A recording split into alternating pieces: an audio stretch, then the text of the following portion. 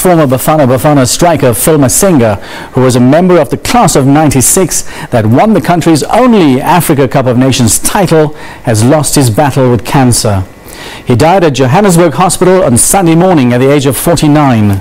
Former coach and mentor Jomo Sono described the striker as a rare talent. Friends and family gathered at Masinga's family home in Klerksdorp in the Northwest Province after hearing the sad news. It was shortly after the news of Chippa's passing had filtered through and the mood was a somber one. A colleague who grew up with Chippa and played football with him says they always knew the tall striker was going to go far. He showed great potential when we were growing up, so it doesn't surprise me when such things are happening. I don't think I'm in a positive space at the moment to be able to deal with that. I would like us to give the family an opportunity to deal with this now, and then uh, probably they will be able to, to appoint a spokesperson for the, for, for the family to be able to address these issues. Masinga played for Bafana Bafana 58 times and scored 18 goals for the team.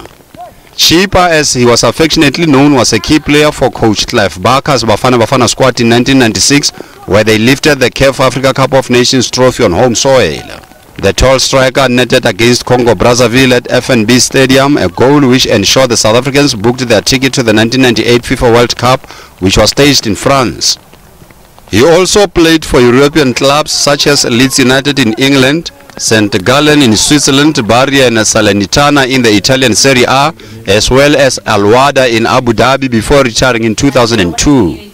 Locally, he played for a Jomo Cosmos team that was brimming with talent and also turned out for Mamelodi Sundowns. His mentor and the man who discovered him while he was playing football in the Northwest, Jomo Sono, and the country's football federation, SAFA, says his death is a great loss to the country.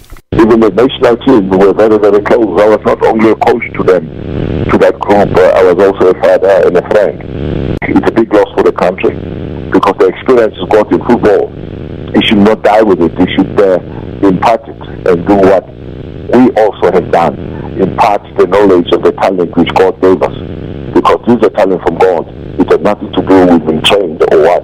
It's unfortunate that he is here to leave us so early. But what is wrong with Paul? Because he was losing weight and they told us various things. Uh, ultimately and finally, they said uh, it was cancer, and uh, by then I assume it was too late. When I saw him on the eighth, uh, on the fifth of January, I saw him in the Donald uh, Gordon Hospital.